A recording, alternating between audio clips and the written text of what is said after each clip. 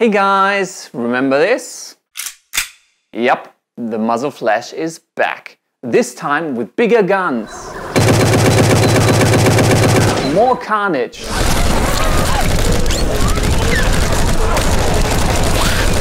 And even bigger surprises.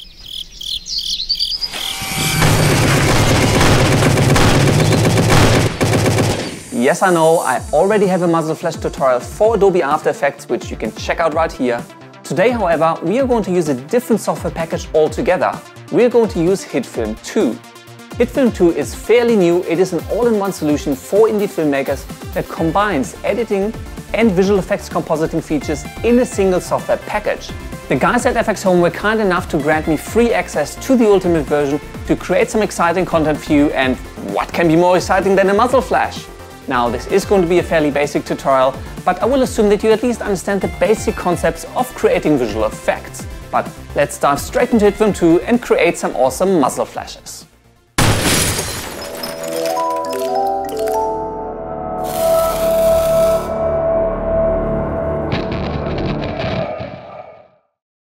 Well, this is what HitFilm 2 looks like. I have a little military-inspired clip here that I filmed for this tutorial. Now one of the things I really like about HitFilm 2 is that while you can easily use stock footage elements, a lot of the time you don't have to.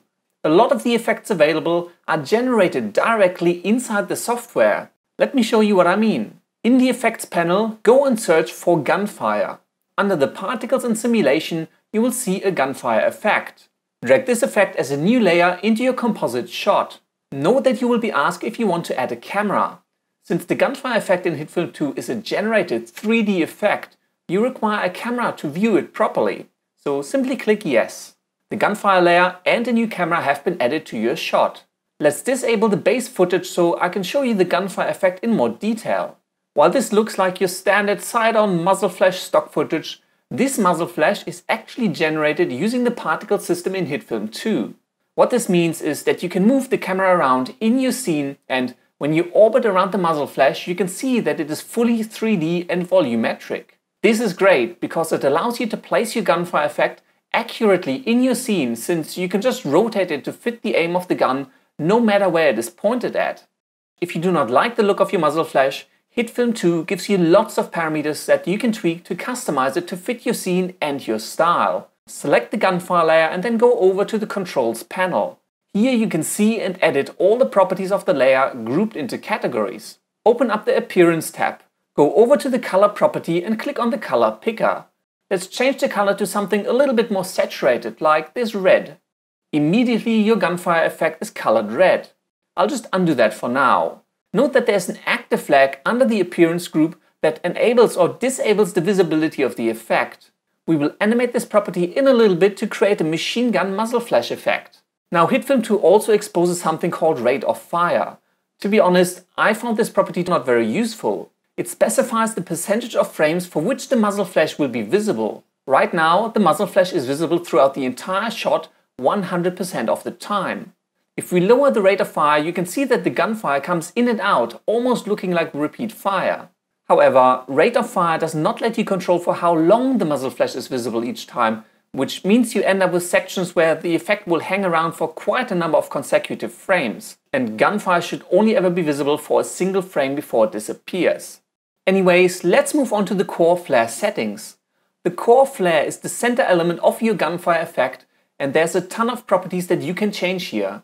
I will not go over all of these in detail, just play around with them and see what they do. Scale is a pretty obvious one.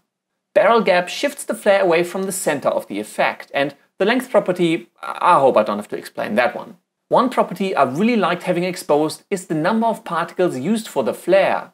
If you increase this property, your gunfire flare becomes more intense and solid.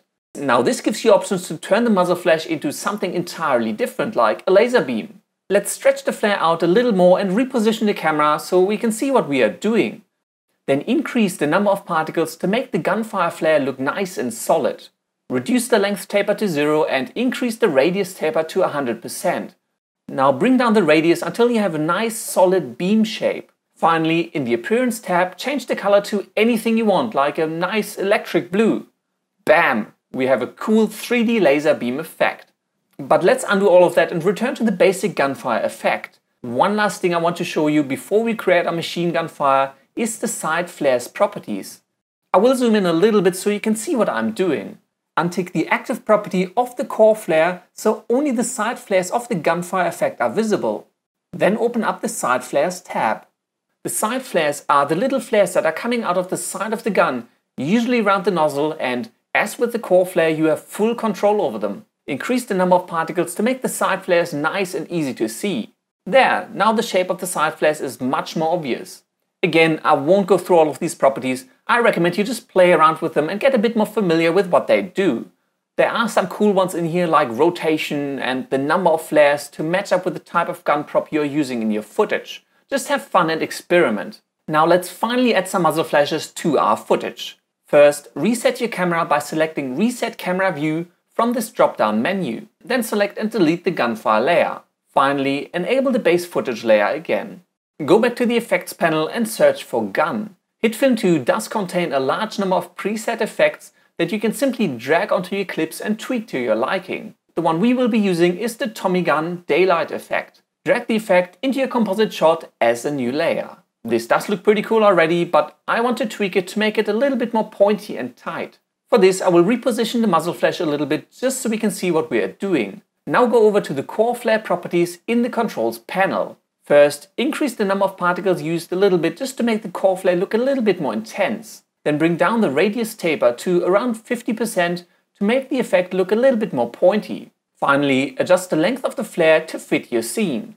Actually, I think I will bump up the radius by just a little bit as well. Nice, I like it. Let's have a look at the side flares. Open up the side flares tab. Again, begin by increasing the number of particles used to make them a little bit more solid. In my opinion, the side flares are much too large, so scale them down a little bit. They are also a little bit too long, so decrease the length to match your scene. Actually, now they've gotten a little bit fat, so I will further reduce the scale. Feel free to tweak these parameters to your liking, how you want your muzzle flash to look in the end is absolutely up to you. Lastly, I will increase the number of side flares to two, one on the top and one on the bottom of the muzzle. We're done with the setup. Time to place our muzzle flash correctly in the scene. Use the position arrows to move the muzzle flash effect to the correct spot at the tip of your gun. You can use these little handles to rotate your gunfire effect in 3D space to match up with the aim of your gun. Hmm, let's quickly tweak the muzzle flash a tiny bit more. I will reduce the barrel gap for the core flare to bring the main muzzle flash a little bit closer in. I will also reduce the scale as well as the length of the side flares to sit a little bit more tightly on the AK-47. Reposition the muzzle flash if required. I will position it so it appears that the side flares are coming out just at the tip of the gun. Now it's time to animate a muzzle flash. This is an automatic rifle, so you would expect it to shoot more than once. Remember how in the appearance tab for the gunfire effect we had an active property that enabled or disabled the entire effect? We will animate this property to show and hide the muzzle flash every 4 frames to simulate the machine gun fire. To enable keyframes, just like in After Effects, click on the little icon on the left side of the active property. It will turn green, indicating that keyframes are enabled for this property. Since I'm moving the gun around in this clip, we also want to animate the position and orientation of the gunfire effect. So open up the Transform Properties group and tick the circle next to the position and the orientation properties.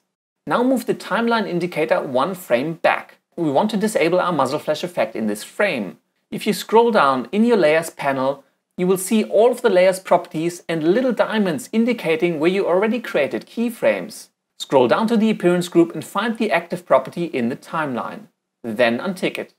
This will create a new keyframe where the muzzle flash is not visible. Moving forward one frame, you can see the muzzle flash reappears. Since we want it to last only a single frame, we will move one more frame forward and untick the active property for this frame. This will once again hide the muzzle flash. We only want our muzzle flash to become visible every couple of frames, repeating a number of times. While we can create all of these keyframes manually, you can also just move forward a few frames, select the keyframes you've already created and copy them. For this, simply select the keyframes you want to copy, right-click them and then select Copy. Then use Ctrl V to paste the keyframes at the current timeline position. Move through your entire clip and repeatedly paste the same set of keyframes onto the active property of the gunfire effect. Done! Next, since the gun is moving, we need to reposition the muzzle flash for every frame where it is visible. Remember, we already enabled keyframes for the position and the orientation properties. Now we simply have to go through our scene to visit all of the frames where the muzzle flash is visible and reposition the effect correctly at the tip of the gun.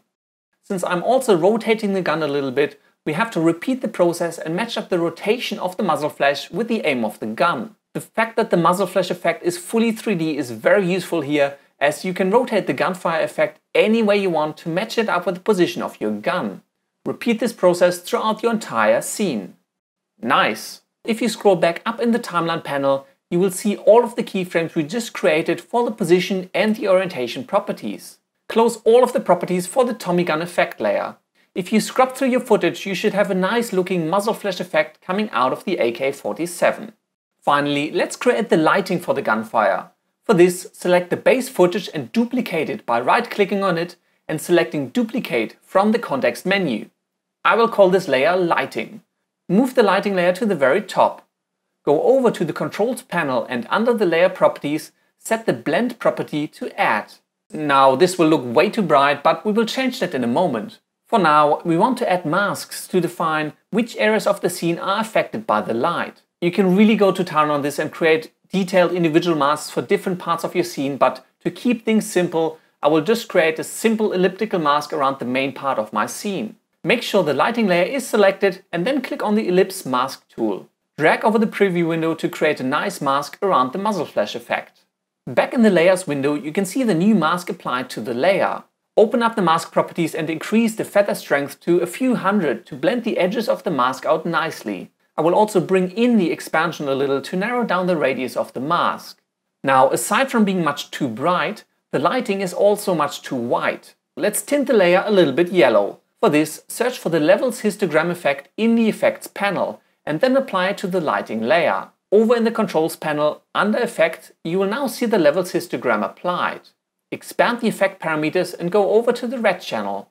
Bring up the red gain to add some red into your lighting layer. Then go over to the green channel. Now bring up the green gain to give the layer a nice yellow tint. That should do. I actually think the lighting looks a little bit too flat, so go search for the brightness and contrast effect and apply it to the lighting layer.